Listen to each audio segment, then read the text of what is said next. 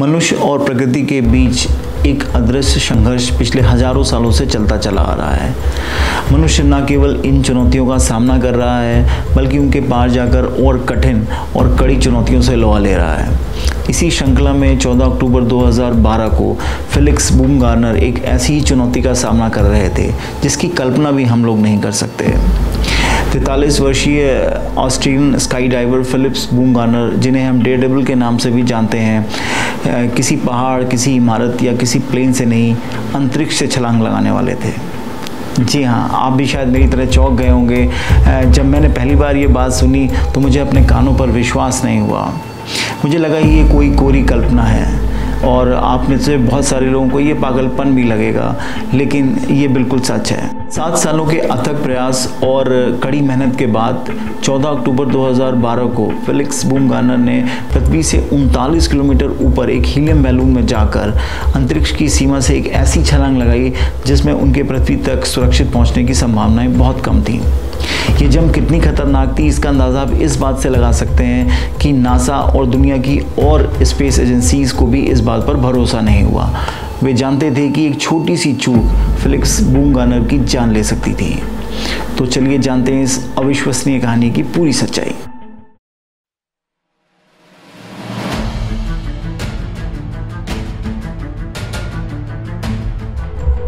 दोस्तों, इतिहास के इस रोमांचक सफ़र में मैं आपका साथी, आपका गाइड सैम एक बार फिर अपने इस YouTube channel super Sam story में आपका स्वागत करता हूँ और आशा करता हूँ कि आप सभी स्वस्थ मस्त और ज़बरदस्त होंगे।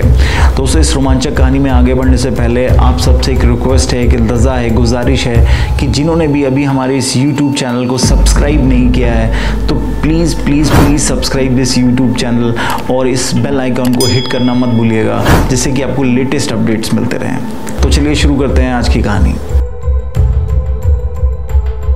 फिलिक्स बूम गानर का जन्म 20 अप्रैल उन्नीस सौ उनहत्तर को ऑस्ट्रिया में हुआ था। बचपन से ही उनका जुनून ऊंचाई पर पहुँचना और वहाँ से कूदना था। इसी के चलते वो ऊँचे पेड़ों पर चढ़कर वहाँ से कूद जाया करते थे। फिलिक्स को समझ आ चुका था कि उन्हें जीवन में कहाँ जाना है। स्काई डाइविंग उनका करियर नहीं, जुनून बन चुका था। इसी के चलते उन्होंने ऑस्ट्रेलियन एयरफोर्स ज्वाइन की और पैराट्रूपिंग की बारूकियाँ सीखी।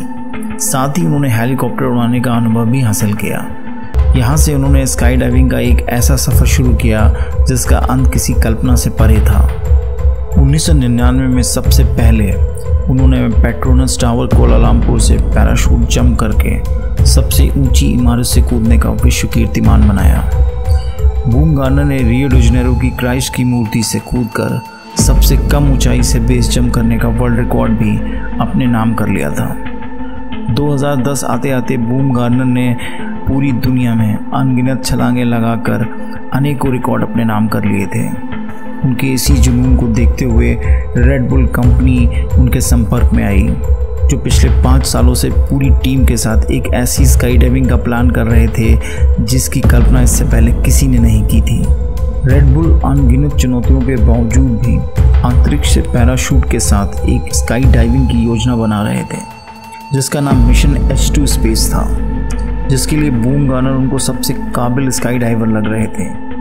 वहीं फिलिक्स भी कुछ ऐसे ही पागलपन की तलाश में थे, जिसके चलते उन्होंने रेडबुल से तुरंत हाथ मिला लिया। लेकिन इस मिशन एच टू स्पेस में सिर्फ़ जुनून और पागलपन के साथ कुछ ऐसी चुनौतियाँ भी थीं, जिसका हल अभी टेक्निकल टीम को खोजना था। जिस डेडेबल जंप की प्लानिंग रेडबुल और टीम ने की थी, उसकी ज़मीन से ऊंचाई एक लाख अट्ठाईस हज़ार फिट थी। यानी पृथ्वी से उनतालीस किलोमीटर की ऊंचाई से एक पैराशूट के साथ बूम गानर को कूदना था। यह ऊंचाई पृथ्वी की स्टेटोस्फेयर में आती है, जहाँ वातावरण लगभग शून्य है। अनुमान था कि इस जंप में बूम गाना साढ़े पाँच मिनट तक एक हज़ार एक सौ दस किलोमीटर प्रति घंटे से भी ज़्यादा गति से पृथ्वी की तरफ़ गिरेंगे। यह स्पीड ध्वनि की गति से भी ज़्यादा है, जिसके कारण वो साउंड बैरियर तोड़ने वाले पहले इंसान होंगे।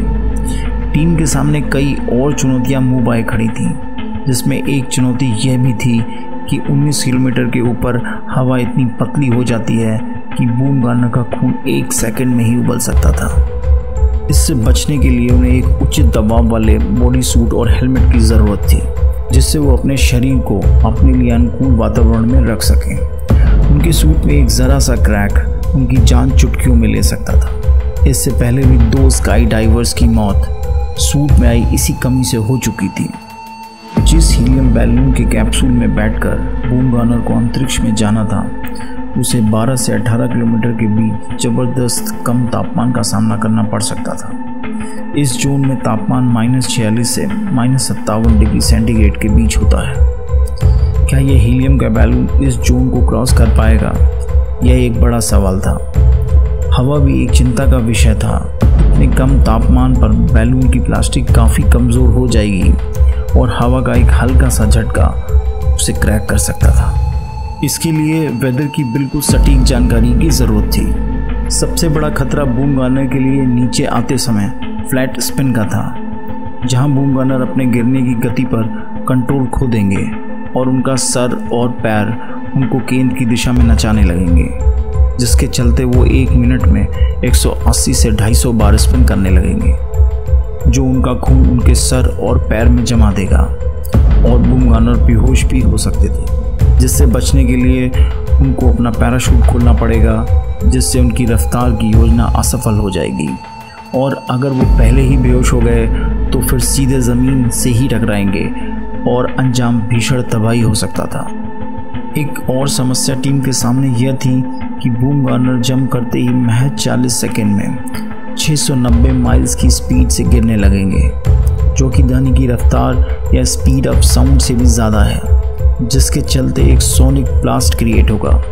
और इस सुपरसोनिक ब्लास्ट का ह्यूमन बॉडी पर क्या असर होगा, ये कोई नहीं जानता था।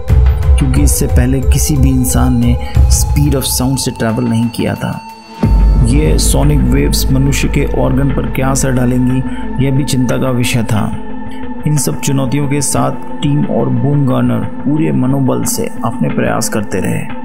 और अंत तक उन्होंने लगभग सभी चुनौतियों का समाधान खोज लिया था। बूम गार्नर ने मेन जंप से पहले दो छोटी डाइव्स लगाकर काफ़ी कुछ परिस्थितियों को सिमुलेट भी कर लिया था। फिर भी टीम का हर सदस्य पूरी तरह से सतर्क था, क्योंकि यहाँ जान के साथ सम्मान भी पूरी तरह से दांव पर लगा था। और पूरी दुनिया यहाँ तक कि नासा और सभी स्पेस एजेंसियाँ भी इस अजूबे का गवाह बनने के लिए तैयार थीं। आखिर वो दिन आ ही गया, जिस दिन का पूरी टीम को बहुत बेसब्री से इंतज़ार था। लेकिन ख़राब वेदर के चलते जम को 9 अक्टूबर से 14 अक्टूबर 2012 को शिफ्ट कर दिया गया। 14 अक्टूबर 2012 को फिलिक्स बूमगार्नर ने समय पर अपने बैलून में प्रवेश किया। उनका परिवार भी उन्हें भावभीनी विदाई देने आया था। उनकी माँ ने तो बाद में दिए एक इंटरव्यू में कहा था कि हम यही सोच रहे थे कि शायद अब हम उससे दोबारा मिल नहीं पाएँगे। पर मेरी पूरी शुभकामनाएँ उसके साथ थीं। बूम गार्नर ने न्यू मैक्सिको की ज़मीन पर अब तक के सबसे बड़े हीलियम बैलून के कैप्सूल में प्रवेश किया। ये हीलियम बैलून 55 मंजिला इमारत से भी ऊँचा और किसी फुटबॉल स्टेडियम से भी चौड़ा था। बूम गार्नर अपने प्रेशर सूट और स्पेशलाइज हेलमेट में किसी एस्ट्रोनॉट से कम नहीं लग रहे थे। आज उनके जीवन की रक्षा इसी सूट को करनी थी।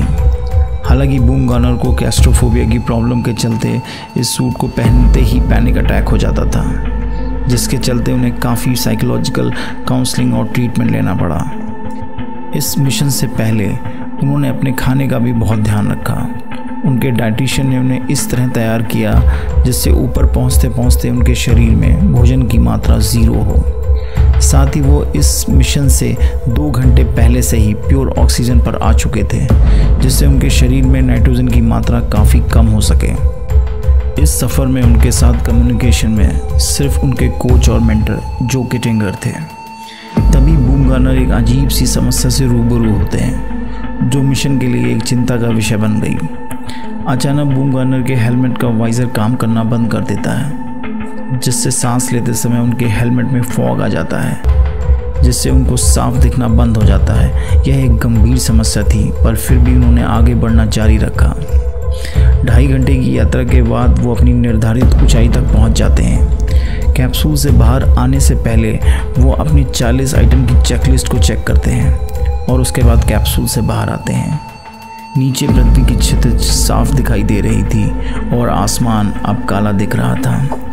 तभी बूम गार्नर के कानों में मिशन कंट्रोलर की आवाज़ आती है। अब our guardian angel will take care of you और इसी के साथ फेयरलेस फिलिक्स जंप लगा देते हैं। कूदने के महज कुछ ही सेकंड में वो स्पीड ऑफ़ साउंड को क्रॉस करते हैं और जिससे एक ज़ोरदार धमाका होता है। अब वो ध्वनि की रफ्तार से भी तेज़ गति से पृथ्वी की तरफ़ आ रहे थे।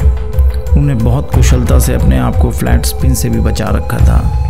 उनका प्रेशर सूट बिल्कुल सही काम कर रहा था। फेलिक्स पूरी कुशलता के साथ पृथ्वी के वातावरण में प्रवेश करते हैं और निश्चित ऊंचाई पर आकर अपना पैराशूट खोल देते हैं। दस खून जमा देने वाले मिनट के बाद वो ज़मीन पर लैंड करते हैं। उनकी माँ यह नज़ारा देखकर बहुत ज़ोर ज़ोर से रोने लगती हैं। शायद उन्हें फेलिक्स के बचने की उम्मीद कम ही थी। इस जंप से फेलिक्स बूमगार्नर ने कई विश्व कीर्तिमान स्थापित किए। सबसे ऊँची हॉट एयर बैलून ड्राइव और हाईएस्ट एल्टीट्यूड स्काई ड्राइविंग का वर्ल्ड रिकॉर्ड अब उनके नाम था। बाद में एक प्रेस कॉन्फ्रेंस में बोलते हुए उन्होंने कहा था कि जब मैं कूदने के लिए तैयार था और पूरी दुनिया मुझे नीचे दिखाई दे रही थी तो मेरे दिमाग में कोई विश्व रिकॉर्ड तोड़ने की बात नहीं चल रही थी। बस मैं इतना सोच रहा था कि मैं कैसे भी सुरक्षित पृथ्वी तक पहुँच जाऊँ। उन्होंने ये भी कहा कि कभी कभी हमें इतने ऊपर जाना चाहिए जिससे हम ये देख पाएँ कि हम यूनिवर्स में कितने छोटे हैं। फिलिक्स बूम की ये आखिरी जंप थी और इसके बाद उन्होंने स्काई डाइविंग को अलविदा कह दिया और एक सामान्य जीवन की खोज के लिए निकल पड़े।